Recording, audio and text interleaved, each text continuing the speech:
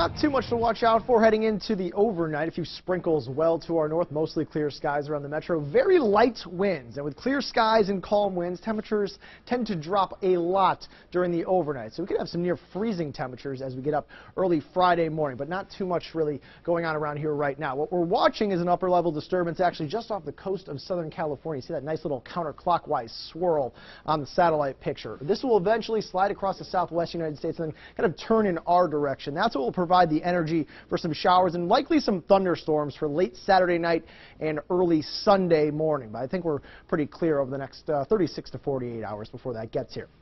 Temperatures really falling off, like I said, in the overnight. Mid-30s by early tomorrow morning, and likely some spots outside of the metro that could fall into the lower 30s, even below that freezing point of 32 degrees. We're at 56 right now out at Eppley, the warmest we've been all day. Very light wind out of the north and northwest only 3 miles per hour. But that wind, which we've uh, kind of seen a lot of this spring, that returns tomorrow. 54 right now, Hastings, 51 O'Neill, some 40 just off to our north. But the warmer air off to our south, that will win out as we head into tomorrow. So you see all these low to mid 50s on the map right now. This will be mid to upper 60s to near 70 by late tomorrow afternoon.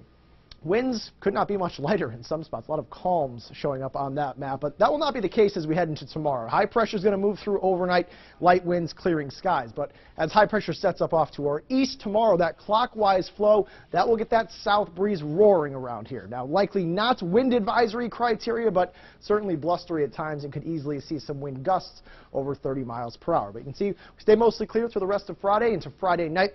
Even Saturday, I think we sneak in a decent day and really warm day, I might add, on Saturday. It will be breezy, but an approaching front. That's what will bring that chance of showers and storms. But I think it holds off until Saturday night. This is the RPM model, trying to get some showers and storms going between, say, 6 and 10 o'clock, but not exactly into the metro. I think some possibly strong storms in there. I'm not really worried about the severe weather threat. Nice and quiet tonight into the mid-30s. We're at 37 by 8 o'clock tomorrow morning.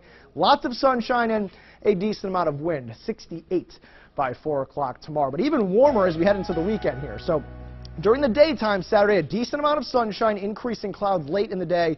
High near 80, though. Then we'll watch out for the showers and storms Saturday night and Easter Sunday morning another chance of a shower there as we head toward Monday morning. And then another system we're watching as we head toward the middle of next week. That one could bring some stronger storms also. So just kind of two separate things, but a lot of warmth. You saw those 70s in the seven-day forecast. We haven't seen one of those in a while. And they're good to see. Yeah, they are. All right, thanks, Kyle. You got it.